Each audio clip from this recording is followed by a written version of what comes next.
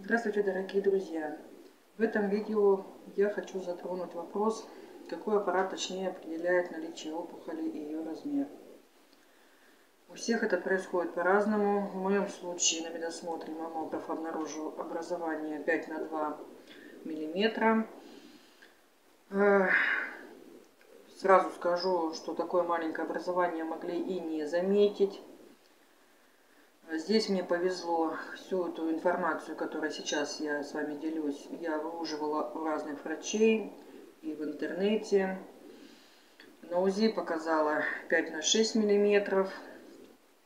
Э, но УЗИ могло тоже не показать наличие опухоли, так как при движении датчика по молочной железе опухоль сдвигается и может спрятаться за тканями груди. Биопсию у меня по УЗИ взяли неудачно, отправили меня на, на томографию. Томограф показал размер 15 на 12 миллиметров. При пальпации своей левой груди я ощущала шарик. Врачи мне объяснили, что если бы опухоль была 5 на 2 или 5 на 6 миллиметров, э, как показали УЗИ и маммограф, э, то я бы этот шарик не почувствовала. Получается, томограф более точно показал размеры. Вторую биопсию уже взяли под томографом. Точно попали в опухоль. Я, конечно, не медик, но поняла, что маммография, УЗИ, КТ, МРТ показывает полную картину. Они дополняют друг друга. Если вас беспокоит боль в определенном месте, и тем более э, вы чувствуете какое-то уплотнение, и если УЗИ или маммография ничего не показала, настаиваете на дальнейшем обследовании, пускай выписывают вам направление на КТ или МРТ. Эти аппараты более четко показывают наличие образований.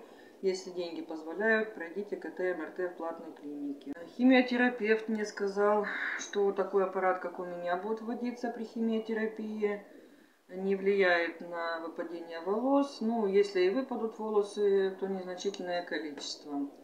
А, как раз незначительное количество волос у меня осталось на голове от моей густой шевелюры.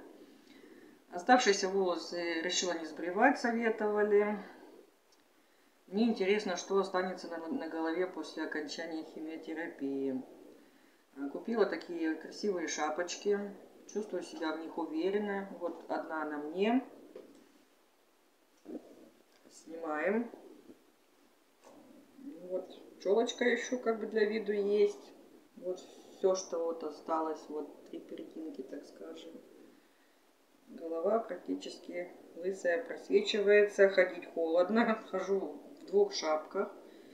Вот на озоне посоветовали девочки. Вот шапочка на резиночке такая симпатичненькая.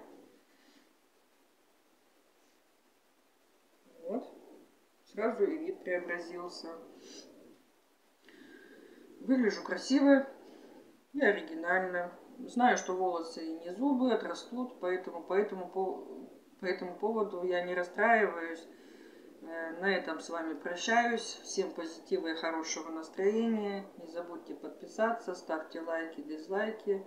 Пишите комментарии. До новых встреч!